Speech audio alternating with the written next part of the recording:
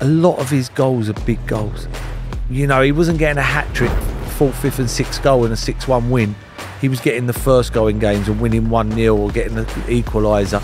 He scored big goals. You know, I had a good brain. I could see things on a football pitch. I, I, I had good vision. I'd never seen anything like this. Saka and Martinelli were unbelievable. Liverpool didn't qualify for the Champions League, and he scored more goals than them put together. Hi, I'm Jeff Stelling. This is Football's Greatest. Each week I'll be sitting down with a legend to discuss and debate some of the best exponents of the beautiful game. The players that got you off your seat, the hard men that made you wince, and the moments that will stay with you for life. This week, we're going to look at football's greatest imports, and we're in the company of the ex Arsenal, Aston Villa, Middlesbrough, Portsmouth, and England man, Paul Merson. Hi, Merse. Hi, Jeff. And now, look, these are imports. And I know over the years on Soccer Saturday, you struggled with one or two names, didn't you? I mean, that, I'm assuming that Newcastle winger's not in this. What was his name? Alan Saint? Maxim, Max, Maximus, Alan Saint. Alex Saint Maximum, Yeah. Alan, See? Alan Saint Maximum. Alan Saint Maximum. Pretty yeah, good. I got that. Pretty now I've got to get hold of the bloke at uh, Liverpool now. Shabosley. Yeah. I don't. Oh, to be fair, I'll settle for that. It's a good player as We'll well. all settle for that.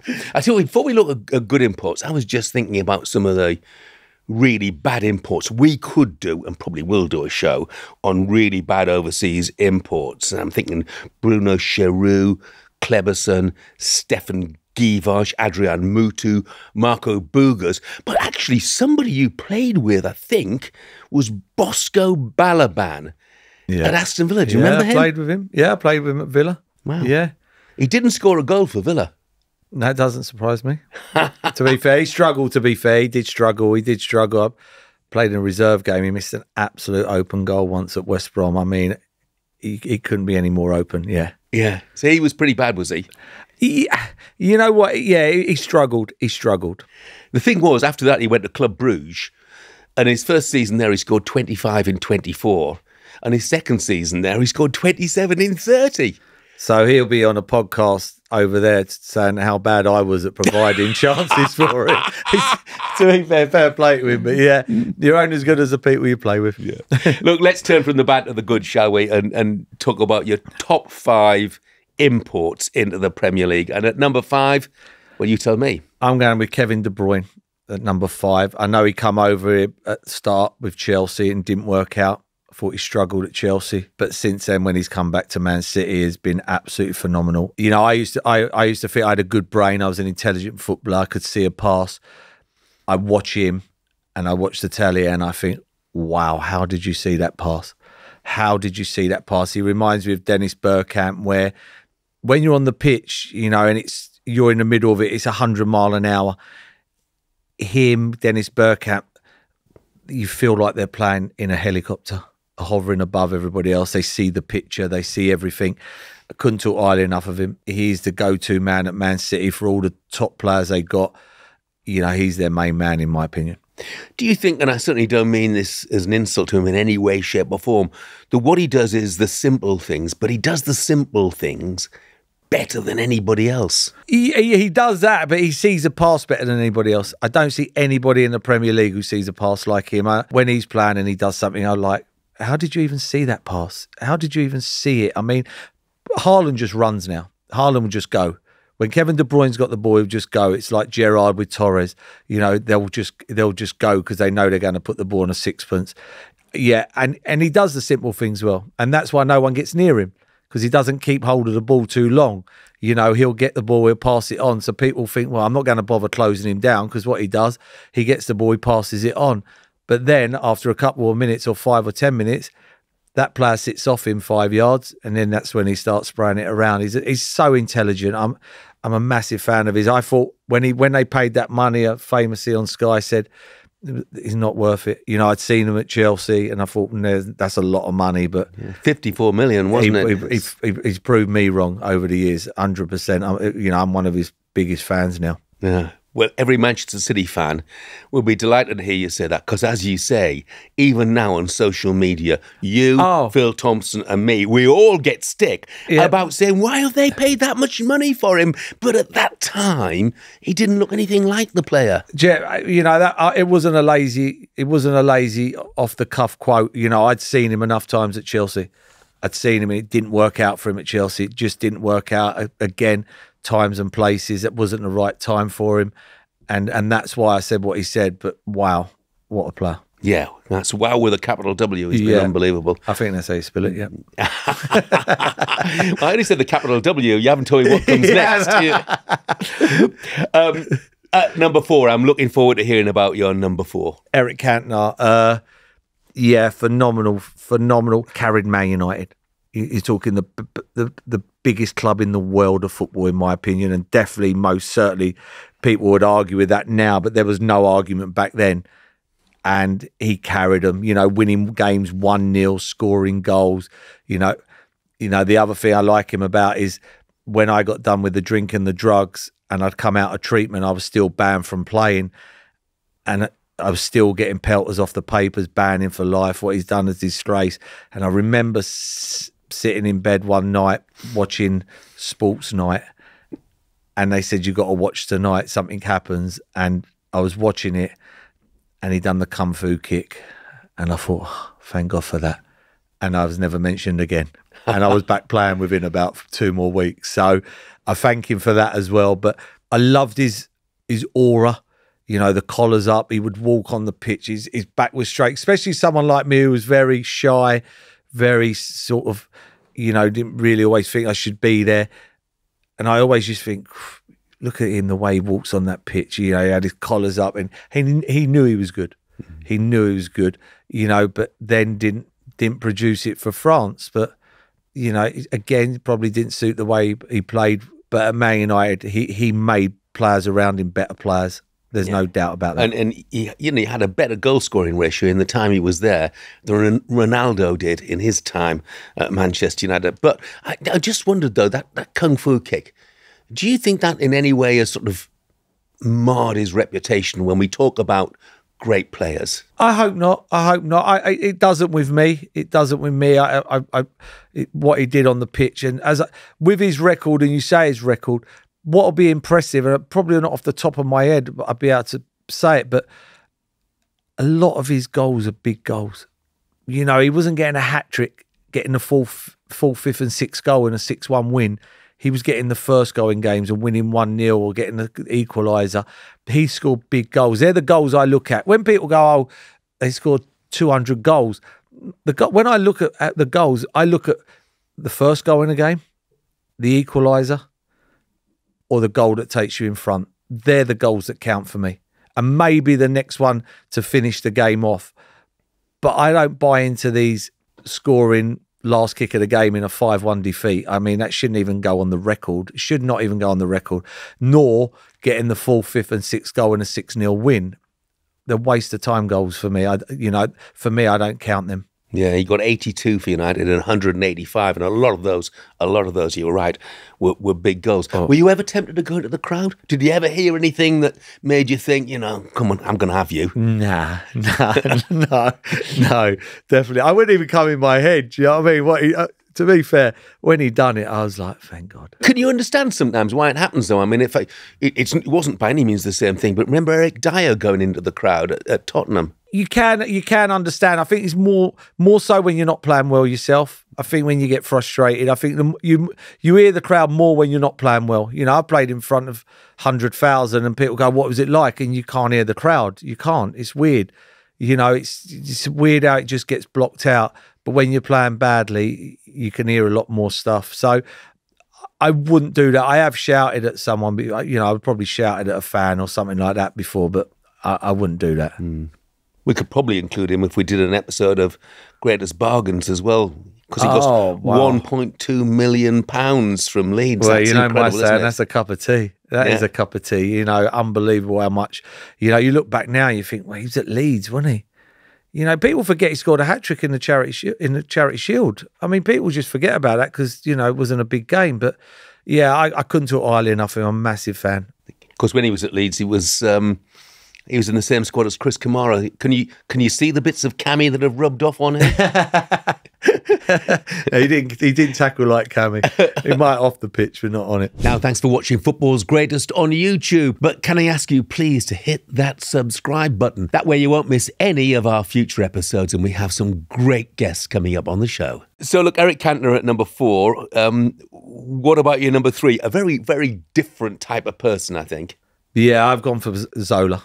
Gone with Zola. I thought Zola, was phenomenal. Being a Chelsea fan as well, I thought he was a phenomenal football player. Low centre of gravity, you know, great on the ball. Could see a pass. You know, people when he got the ball, like Poyet and people like that, would run off the ball. You know, and you know, people forget goals. You know, against Man United. You know, Man United were a top team. He walked through about four players like they wasn't even there and put it past Schmeichel. You know, people don't understand how how hard that is when you're playing against top quality players like Man United that day.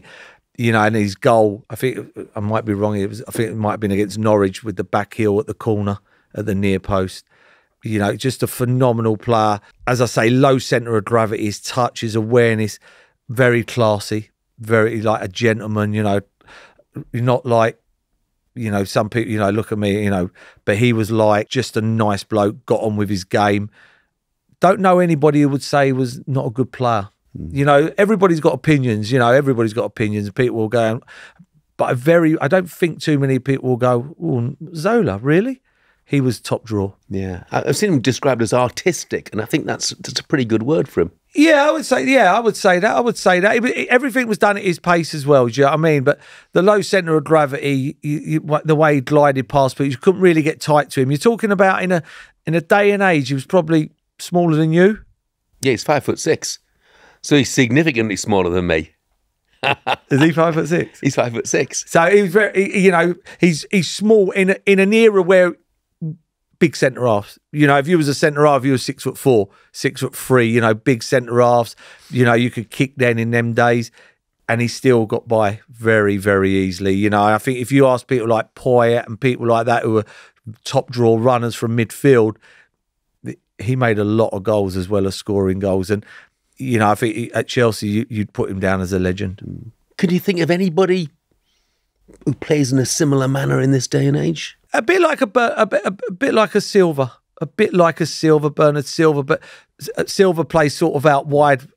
Zola was in the mid, the thick of it, but that kind of play, you know, not the lightning quickest player in the world, very clever up upstairs and great movement, great uh, low center of gravity. I keep on going back to that. It's so important. You look at people like like uh, like Messi and people like that.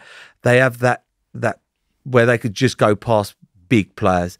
And I, I would probably say a Silva similar to that, but obviously Silva's playing out on the on the right at the moment. Do you think he's ever lost his temper, Zola?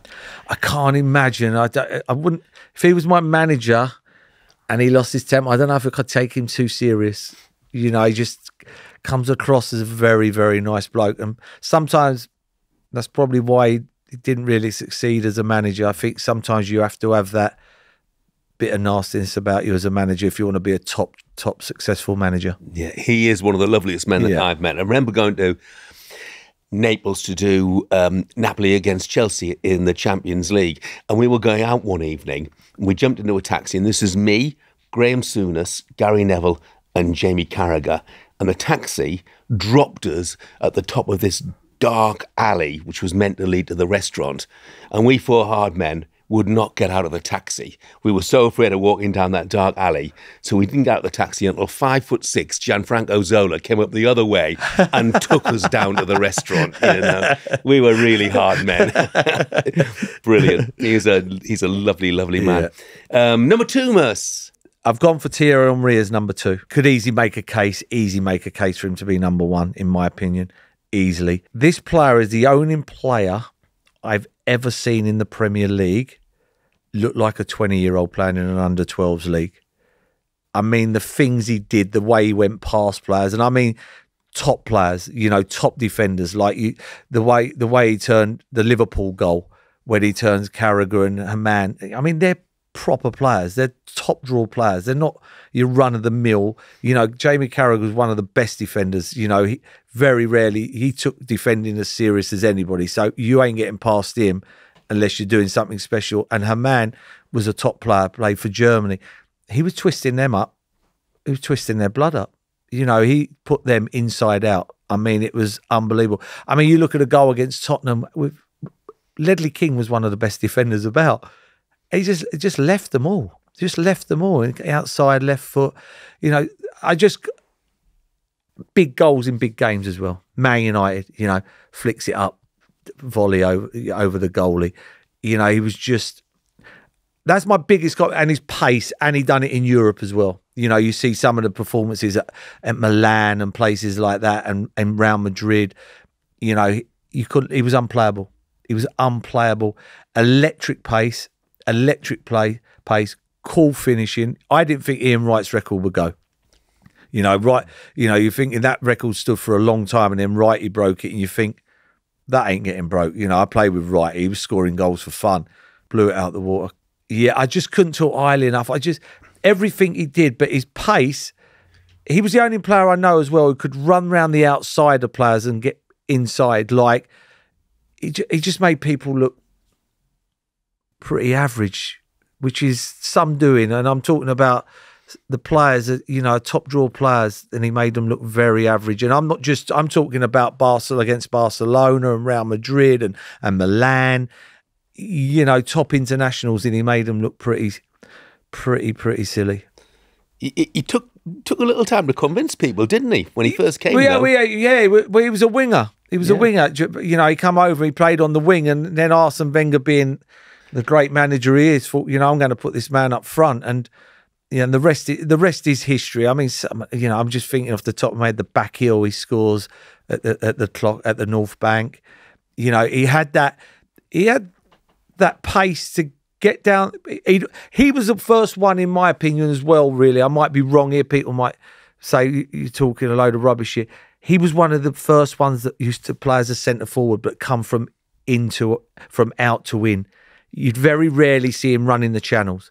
You know, he was like, you can't score goals running the channels. So he would come from out and run in, and then he would always be in on goal. You see it with Ollie Watkins is doing it now. But before Ollie Watkins was brilliant at running the channels, but, but you don't score goals running the channels. And that's what he he would do Thierry Henry. And he had that one where he come round and he bend the ball in the far corner with his right foot. And you knew he was going to do it, but no one could ever stop it. No one could ever stop it. And, you know, class, elegant, yeah, just just a top top player. Yeah, and he, people could easily have the case that he was number one easily, but when I talk about number two, number one, there is a reason why I've mm. gone with number one. Just with Thierry, eleven million pounds. How much would he be worth today? Can you put a figure on what he would be worth? Uh, well, what's the most expensive player? Mbappe. Hmm. Yeah, we're talking, he'd be about 200 million, winning 150, 160, he would be that easy. Yeah. Easy. I, I, dread to think what he'd do to the defenders now. No one could kick anybody neither. You know, I just don't see how how people would live with him, and it's why you have you could have great debates. We have great debates where who would win, Man City or Arsenal? You know, the invincible team or or this team or the doubles winning team. I know that when Thierry Henry's in the team, that team's got every chance of beating someone yeah. every chance. Yeah. Everyone in Ireland, of course, disagrees with you, but yeah, no, I that, agree with that as well. No, I yeah, he shouldn't have done that. Yeah, never mind. He's he's a, a wonderful, yeah. wonderful player and gone on to have a you know great career in TV mm. uh, as well. So your number one must be pretty special then, if he's better than Thierry Henry. Who have you gone for number one? Well, I've gone for a player. That was the best player I ever played with by a million miles, and I didn't think a professional footballer could be that good. Was Dennis Bergkamp? He was unbelievable. You know, I used to, I got, you know, I used to, you know, I had a good brain. I could see things on a football pitch. I, I, I had good vision. I'd never seen anything like this. It, he had eyes in the back of his head. His touch was unbelievable. He was cool as ice, and he had a bit of a streak in him as well. Oh, did he? Oh, he could look after himself. There's no doubt. Oh, he could look after himself. You know, I was one of them that someone, you know, he would he would put himself about. He could do that. He was he had that bit about him. But you ask anybody who played with him, all the forwards all wanted to play with him. You know, you talk to Thierry Henry, Thierry Henry say Dennis Bergkamp. You know, Ian Wright, Dennis Bergkamp. You know, you just made a run, he would find you. He, he just had everything. He had the shortest backlift I've ever seen on a shot. You know, he could hit a ball from 25, 30 yards and his foot would hardly move. You know, some people you have to wind it up and then hit it. He would literally just pull his foot back and bang, he'd hit it. You know, some of the goals, people go, the goal against Leicester, you know, when he gets the hat trick at Leicester, and people go, oh, yeah, that was Matty Elliott. Matty Elliott was a good defender, very good defender, and he does that. And people go, oh, yeah, but it was Leicester and so, so. Leicester were a good team in them days. He was a good defender. But then he goes and does it in the World Cup against Argentina in the World Cup. He does it. That's that's what it's about for me. You know, and I only I've gone with him as number one because I ain't sure if Henry would have been that great with Bergkamp's pace. That's that was my only reason. You know what I mean? I, you know, because when I when I when I look at Henry, you know, you would say he was electric. He was cool at finishing, but his pace got him away from players to get into that position. To you know, he, he wasn't an Ian Wright's goal scorer. You know, Ian Wright was, you know, or a Gary Lineker or Alan Shearer. They were they were centre forward goal scorers. He was he was someone who was not really going to get twenty goals in the six yard box. Do you know what I mean? That weren't his game. So I that was the only reason I've picked Dennis Burkett. You know, thinking if you both give them the same pace, who would be the best? And that's why I've just gone with him. And I hope I'm not, hopefully, not disrespecting Thierry Henry because he was unbelievable. But other people will watch this and go, "Oh, well, you picked two Arsenal players." You know, I've got to pick the second, the number one because I played with him and he was unbelievable. I could have put Yaya Toure in as well in one of them. If we'd have gone to six, or it was with him and Kevin De Bruyne, I could have put Yaya Toure in. I thought he was phenomenal as well. I mean, with Bergkamp, obviously, apart from his all-round brilliance, you know, the catalogue of goals, I think the one that a lot of people would always talk about is the goal against Newcastle, which I think was voted as the greatest ever Premier League goal, and yet there's still a debate about whether he meant it or not. Uh, I've seen that in training enough times. I've seen that in training, and and it's not just a flick. It's the way he holds off the defender. The defender's a big lad. He's a big centre half, and he brushes him off, and then has the coolness to just slide it in the corner. You know, a lot of people there, if you picture doing that bit of skill, would have been so excited that they would have smashed the ball. You know, they would have thought, "Oh my god, this could be unreal," and they would have hit it as hard as they could, and it might have hit the goalkeeper or hit the post. But he was as cool as ice, just rolled it in the corner. I mean, yeah, I couldn't talk highly enough of him, but definitely the best player I ever played with, and most intelligent. Yeah, and when I when you talk about footballers, footballers are different to players. You have good players, but then you have good footballers.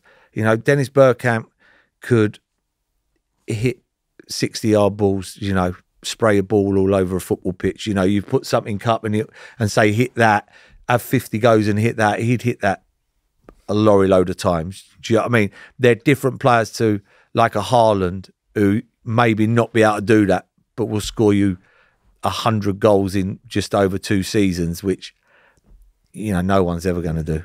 I mean, famously, he had just the one flaw in that he didn't like flying. Um, Yeah. and, and you can associate with that, can't you? You know, yeah, So- well, I went to see Paul McKenna. I went. I went to Paul McKenna's house to to get hypnotized because I didn't like flying, and I, I I went back and like said to Dennis, you know, he said he'll see you. Do you know what I mean? You know, it's helped me. It did help for a while. Uh, and he went, no, no, he didn't even bother. Did, did the boys take the Mickey out of him at all for that? no, no, no. It was, there was a reason, uh, and he just didn't like it. Yeah, no, the lads are all right with it. Yeah. And I think that's maybe the thing that would probably stop him from coming a top, you know, being managing a football team really in this day and age. Yeah, because you've got to be able to. He You drove, got- he drove to some games. he drove to some, Yeah. but you know, that was only if they were like in Holland or Belgium or France, a place like. But if you're going to get drawn away in Greece and places like that, you, it's a no go. I do hope you're enjoying the show. I just want to tell you that you can follow us at at Football's Greatest Pod on Instagram, TikTok, and Facebook, and search for Football's Greatest Pod to find us on X.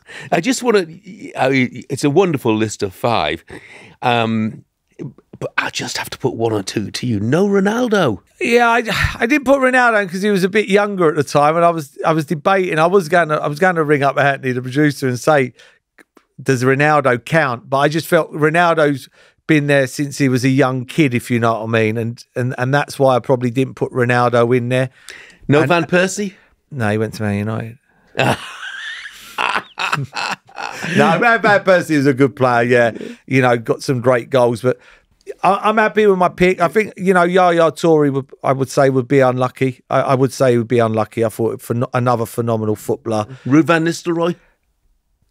Yeah, played in an unbelievable football team. Yeah. You know, I, I, an unbelievable goal scorer, unbelievable goal scorer.